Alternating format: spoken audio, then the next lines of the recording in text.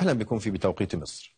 تتجه الحكومة إلى دمج أكبر سبعة موانئ في شركة واحدة وطرحها في البورصة وذلك في إطلاق الدولة لمرحلة جديدة من الخصخصة كما سيتم طرح نسبة, نسبة من مشروعات النقل الحديث التي تنفذها الحكومة في البورصة. وقبل نهاية العام الجاري سيتم طرح عشر شركات تتبع الدولة واثنتين تتبعان القوات المسلحة في البورصة واتخذت أو اتخذت الخطوة في ظل اتجاه الحكومة لتمكين القطاع الخاص بشكل كامل خلال السنوات الثلاث المقبلة. وفقا لرئيس الوزراء. وفي سياق آخر قال نائب وزير المالية أحمد كوجوك اليوم إن مصر تهدف إلى الاقتراض بطرح سندات خضراء وسندات للتنمية المستدامة بقيمة تتجاوز 500 مليون دولار مليون دولار. نعم. إذا نحن نتحدث عن أكثر من شركة يتم يعني طرحها في البورصة المصرية شركات تابعة للقوات المسلحة شركات تابعة للموانئ المصرية. ولكن الموانئ تحديدا ثار حولها كثير من الجدل بشأن التنازل أو يعني طرح هذه الموانئ في البورصة باعتبارها يعني من الموارد الاستراتيجية للدولة. المصرية حول هذا الموضوع. نرحب من ميتشيغان بالدكتور مصطفى شاهين أستاذ الاقتصاد بكلية بجامعة أوكلاند الأمريكية. برحب بك يا دكتور. أهلا وسهلا بحضرتك يا أستاذ تامر. سعداء بحضرتك وبكل السادة المشاهدين في مصر وفي العالم العربي أهلا بحضرتك. يعني خلينا نبدأ بالموانئ تحديدا. إحنا اتكلمنا أكتر من مرة عن فكرة طرح شركات حكومية في البورصة طرح شركات تابعة للقوات المسلحة في البورصة وكان في إلى حد ما ترحيب بالخطوات السابقة لكن الخطوة دي تحديدا دمج سبع موانئ مصرية وطرحها في البورصة وبالتالي تمكين مصريين وغير مصريين وشركات كبيرة ودول أخرى من المشاركة فيها. البعض بينظر له بقلق وبخوف باعتبارها من الموارد الاستراتيجية ومن يعني نقاط القوة الاستراتيجية لمصر. هل بتعتبر هذه الخطوة خطوة طبيعية عادية في إطار تشجيع القطاع الخاص على الاستثمار ولا بتوافق الرأي من يقول أنها خطوة ربما تكون خطرة؟ الحقيقة الخطوة دي خطوة رمزية جدا. وهي بتعكس مدى التدني والفشل المصري في إدارة المرافق العامة بالنسبة لنا في مصر. والحقيقة ده شيء آه شيء محزن للغاية بالنسبة لي. لأن إحنا إحنا تاريخيا من عهد الخديوي إسماعيل عندنا شركات بحرية لفترات طويلة كبيرة جدا تاريخيا. ثانيا الأمر الأهم الحقيقة هو الأمن القومي المصري. أنت اللي هيملك الميناء هيعرف كل مدخلات ومخرجات مصر كاملة. هيعرف كل قوة الاقتصاد الحقيقية بغض النظر عن أي دولة حتى وإن كانت صديقة.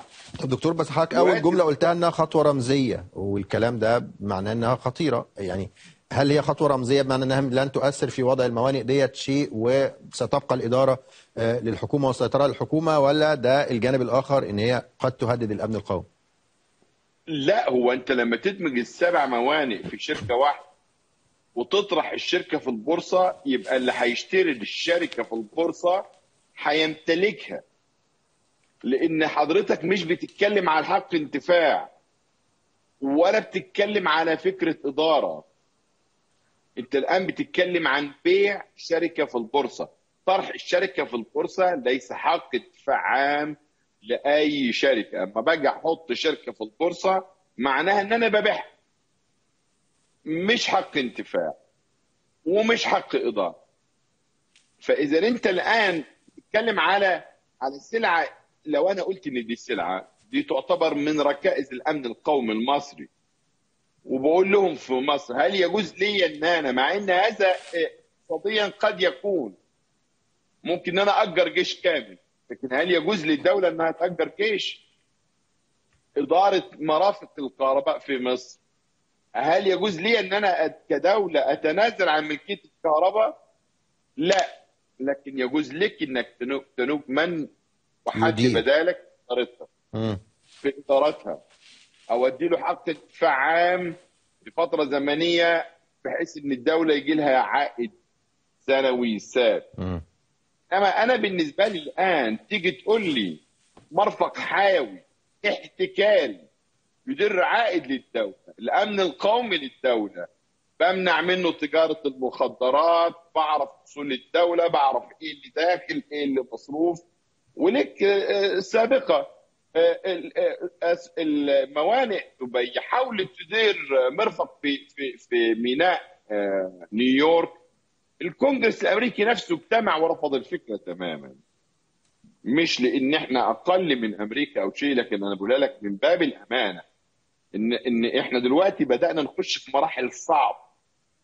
لأنك أنت أزمتك الداخلية اللي أنت وقعت نفسك فيها اللي هي المديونية الخارجية الآن وحاجتك إلى الدولار خلتك تروح إنك تلتجئ إنك أنت آه، تريد بيع أصول عندك وأصول احتكارية. يعني أنا عارف إن بتدر لي دخل أو عائد بالنسبة لي. أروح أنا أبيع أصول احتكارية بالنسبة لي؟ مم. آه، في سين اوسط الإمارات غير الإمارات. هذا مورد حياة لا يجوز لك انك انت تبيعه خليني أتأكد إن إحنا فاهمين آه، كلام حضرتك. أو أنا يعني فاهم كلام حضرتك صح. إن ما عندكش مشكلة. لو كان أسندت مثلا إدارة ال ال أحد المواني أو بعض المواني لشركة عالمية مثلا تقوم بإدارتها على لمدة معينة على أن تبقى الملكية للدولة بخلاف فكرة آه، طرحها للبورصه في البورصة ده يعني إن كل من يملك سهم هو يملك آه، حصة في هذا آه، آه، المرفق ده التفريق ده التفريق اللي حضرتك بتقوله بالظبط ط- مع طيب. إن فكرة م- امتلاك سهم دي فكرة بسيطة يا آه. أستاذ تامر لما تقول سهم دي فكرة قد تروع على المشاهد مم. لكن أنا دلوقتي لو 100% من الشركة اتباعت يبقى أنا حطيت 10 مليار دولار أنا خدت الموانئ بتاع مصر مم. طب طب. ماذا لو آه، غاية طرحت نسبة بسيطة إنه مثلا لأن أنا مش عارف ما شفتش النسبة اللي بتتكلم عنها الدولة هل وما وضح يعني ما وضحهاش رئيس الوزراء فماذا لو طرحت الدولة مثلا 30% من أسهم ال- الشركة اللي هتعملها ديت اللي بتضم السبع مواني آه، للتداول في البورصة وبالتالي تدر عائد وتتيح فكرة ال- المشاركة آه، للقطاع الخاص وفي نفس الوقت تحفظ فكرة سيطرة الدولة الكاملة على آه، المواني لو حصل ده هيكون مرضي ولا في مشكلة ولا؟ شو شوف يا أستاذ أنا هكون معاك في غاية الوضوح تماما أي شوف أنا كان ممكن أقبل إن شركة السجاير تبيعها رغم إن شركة السجاير شركة احتكارية وبتحقق أرباح من وراها م. أنا اللي عايز يخش مصر الآن تعالى خد لي شيء أنا ما عملتوش واعمله. إنما أنتوا دلوقتي رحت البنك التجاري الدولي اللي هو بيسموه يعني الكريمه بتاع البنوك في مصر. الشركات ال- ال- اللي بتدي إنتاجية أعلى وله أرباح أعلى هي اللي بتبيعها الآن. وطبعا أنا لو مستثمر لازم أبص كده. أنا مانيش جاي أفتح جمعية خيرية عندكم في مصر. لكن انت وصلتني لهذا المستوى التدني.